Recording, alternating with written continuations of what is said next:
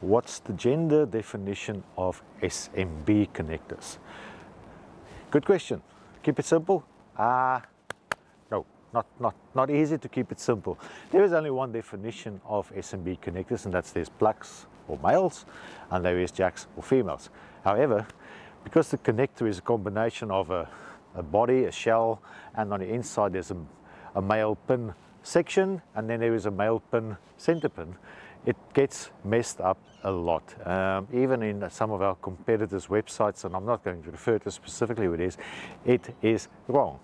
So we go by the definition of, well, I always refer to our Jyebao website. That's um, they are they have a phenomenal setup on their website, and it's quite easy to look for a reference. That reference is um, in alignment with the major suppliers, again, like um, Amphenol, Pasternack, Huber and Suhner, they all use the same definition of what is a plug or a male and what is a jack or a female connector.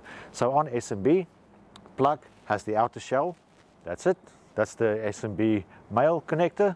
And the SMB female has the, um, uh, well, it doesn't have the plug, it's the one that goes goes inside. See, it, it, it, doesn't go along with what you normally would say because there's actually a shell and there's an inner body and then there's a pin on the middle.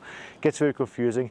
I don't even want to try to explain this because I don't know what the original reason was for the logic of the definitions, but if you say plug, this is the one that I'm going to use. If you say female, that's the one that we're going to use. However, we have learned the hard way. We normally follow up with a little photo as well. So when you ask for a connector and you say, I want an SMB, say, okay, well, let's just share a photo, just make sure this is the one that you want, yes or no.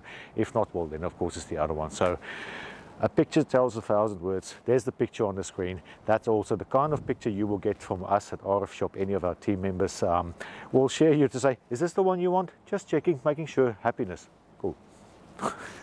it's just such a terrible connector to, uh, to define the gender on. Anyway, thanks for watching. Um, see you on the next video. The next one is going to be um, my biggest mistake at RF Shop thought I might start to um, share some experiences.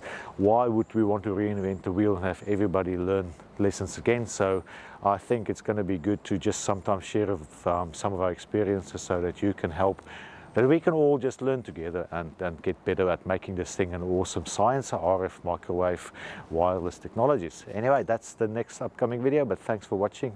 Um, see you again soon. Cheers, bye-bye.